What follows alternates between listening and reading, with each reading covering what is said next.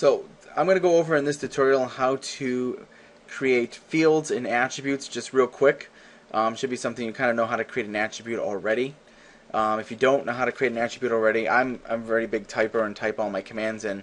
Um, you can also go to draw block attribute. But if you type in ATT, you also can put attributes in like this as well. So what we want to do is we want to create a title block using utilizing fields. So everything you see right here all utilizes fields. Um, if you double click on it you can kind of see my tag, my prompt, and my default. Now the thing that justifies the field or kind of tells you it's a field is you can kind of see this dark gray and a bunch of pound signs right here. That kind of tells me that that is an actual field sitting there. So how do I go about doing that and setting that up just real quick, just a kind of a crash course back into uh, CAD 117 here. Um, when you create an attribute, you're going to give it a tag, which can't really contain any spaces. Um, you're going to put a prompt in. And instead of putting a default value in, you're going to click this guy here where it says Insert Field, and you're going to select from a wide range of options here. Um, dealing with Sheet Set Manager and what this uh, title block is going to be for for this class, you know, you might see a few here like the project name that might be important to use, um, current sheet title, page number, anything like that um, will be useful for just getting this to work for our class CAD 217. So once you have one done, as you notice, you can just kind of copy them. So just by double, you know, copy this guy three times, double click on them, and you can change the names. Now, obviously, you'll need to change whatever the field is pointing to as well. To do so, just click in it, right click, and then go to Edit Field, and then you can pick what you want that to be set up for. Like this one here is set to current sheet set project name. And if you want to make sure it's always in all uppercase, you can do so as well. So once you have this guy done, you have a title block done. I just did a quick 24 by 36. We're going to do a Q save here. And I'm just going to start a new drawing just using a basic plain generic template. I'm going to go into layout space here, insert a block, of course, which is going to be that title block.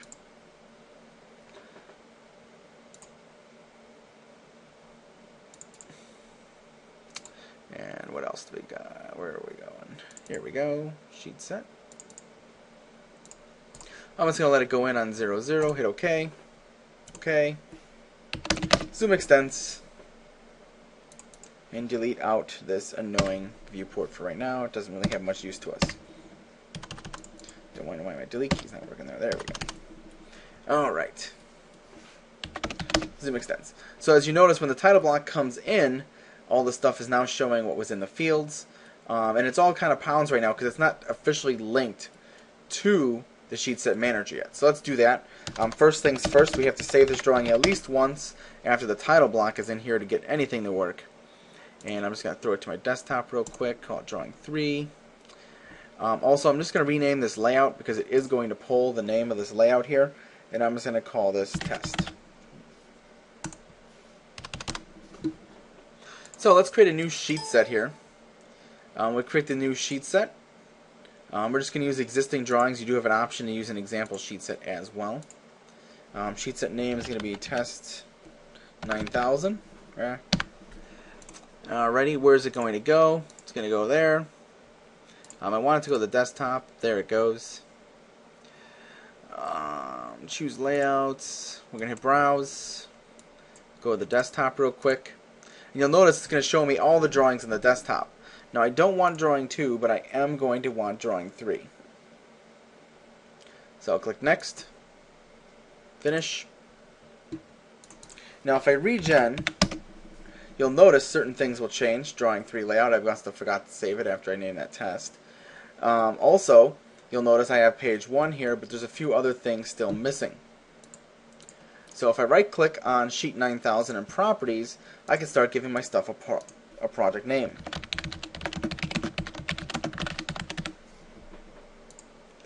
project number, although I don't think I have one in here yet.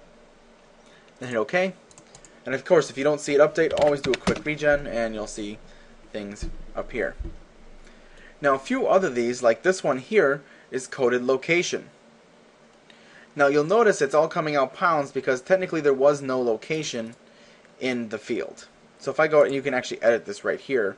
Um, if you go, and I'm going to find location here. There it is. And if I click on this guy here and go to edit, you'll see I had to create a sheet set custom and then I called it location. So what I have to do is I'm going to come into project uh, or test 9000 here, go to properties, edit custom. I'm going to I'm going to add one. And you got to call this the same thing you called the other one, um, keeping the, CAD, the I call it the CAD caps lock on. And this is per sheet set, not per sheet. Then I can come in here and add a location.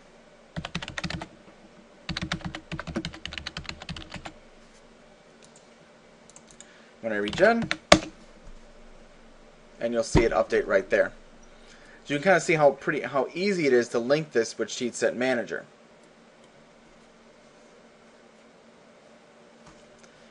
Now that that's done, you can go by and go through and start adding more of these. As you can see, there's a lot of ones in here like Project Manager, Drawn by, Checked by, Approved by. Um, and you know, you have a list can go on right here. I just kind of did this real quick just to show a few examples. And then your total of sheets needs to be added as well. Once that's all in, the benefits of this is you can go ahead and modify an entire project without this being opened and you can change everything in the title block just by editing the things here and anything that's sheet per sheet right here which will save you a lot of time because then in here also you can batch print all of this and just send it right to the printer without having to worry about it. Now to add sheets to it, it's pretty easy. I have no really, oh, okay, I guess I can add one of the sheets here. Um, you can also import a sheet as a layout as well. So let's say I want to add a sheet here. I'm going to browse the desktop, I'm going to go to Drawing 2 and see what they got. It says available for import. Now there's my Drawing 2. Now the nice thing about this, if I open this guy, there's not going to be a title block in here. Delete this guy, insert block, browse, should have my title block right there, okay. If you notice, look what's happening. When I put the title block in here now, it's automatically filling everything out that was already set up. I did a quick regen there. Now it doesn't have a drawing number yet because I haven't assigned one, so you'll notice it's all dashed there. But as soon as you go here and go to properties, you'll notice sheet number. We can say 2, hit OK, do a quick regen, and it's there. Now the beauty part about all this is you'll notice these are two separate drawings now, right? So if I close this guy, and I'll save changes, and I'm going to go and I'm going to edit this guy's number here. I'm going to say he's now sheet 9. I'm, again, I'm not in this drawing. He's now sheet 9 there. And I'm also going to change College Lake County dash, and I'm going to call it test at the end. Of course, I'm so used to holding shift nowadays, I accidentally always do that now. So I'm going to regen. Now you'll notice it'll say test here, but also note it still says 1 here. Because again, I'm not in the other drawing yet, I'm not in drawing 2, because that's sheet 9. So let's close out of this guy. And I'll show you, now that I changed that to sheet 9, when I open up this guy here is automatically updated. So I don't have to go into each title block to make the changes to the title block now, which saves you a lot of time. If you had 50 sheets and you had to change all the sheet numbers up by one, you can easily just go in here, go into the one that actually that's a brand new drawing, add it in here, and then go through and add all these without having to open this up, as well as just send all these to the plotter. So you're printing an entire set without having to open up, print, open, print, open, print, which I can tell you from personal experience does take a long time, especially when you're printing multiple sheets. Now at least you're saving your time, saving yourself all the time to have to open each one and print each one, and you still have to unfortunately go over to the printer and staple them all together, you know, bound them all together. But you know, it does save you a lot of time from having to open 50 sheets, file print, file print, file print and that's uh, the Sheet Set Manager.